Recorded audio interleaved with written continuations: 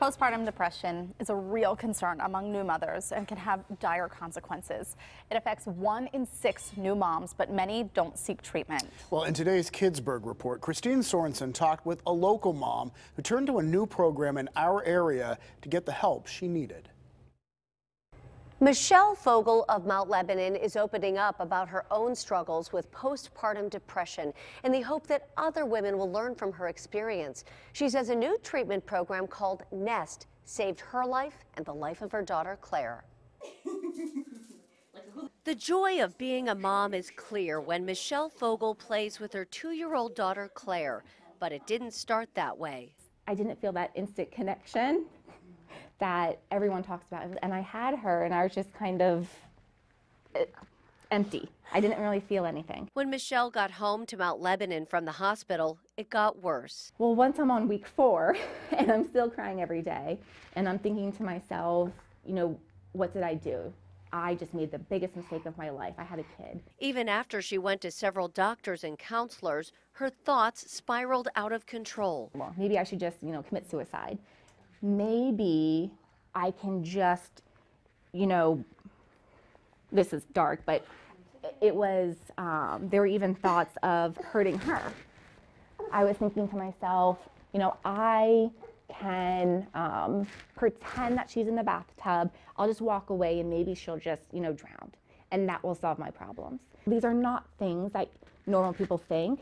And no one could help me. With the encouragement of her family, she went to UPMC Magee Women's Hospital and then to Western Psychiatric Hospital for four nights. She got on medication for depression, which studies now show is safe for most women during pregnancy and breastfeeding.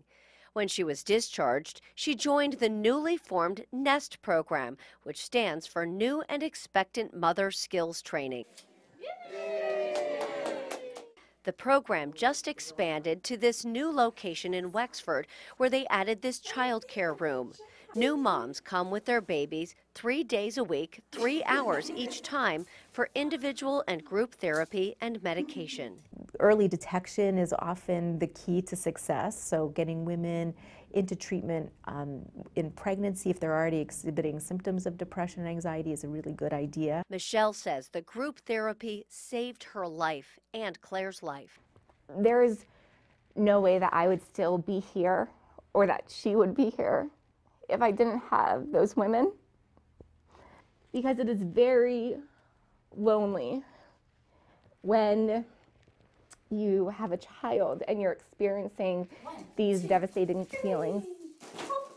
Michelle hopes by sharing her story, others will be more honest about their own challenges. If people just talked about it more and were just more open about their experiences, I think a lot of women wouldn't even get to the point where they are in their depression.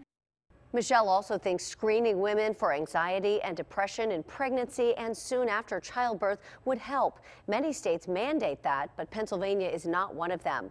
For more information on the NEST program and information to help all new parents, go to kidsburgh.org. We have a link for you at kdka.com slash kidsburgh. I'm Kristine Sorensen for Pittsburgh Today Live. Thank you, Kristine. What a powerful story. And she is so brave for speaking out. I, I learned during my last pregnancy that you can actually develop anxiety and as heard there, mm -hmm. depression during pregnancy. During the that, pregnancy. That can last in. But uh, I think that what's really important is knowing that there are places that can support you and that mm -hmm. you mm-hmm. can get help.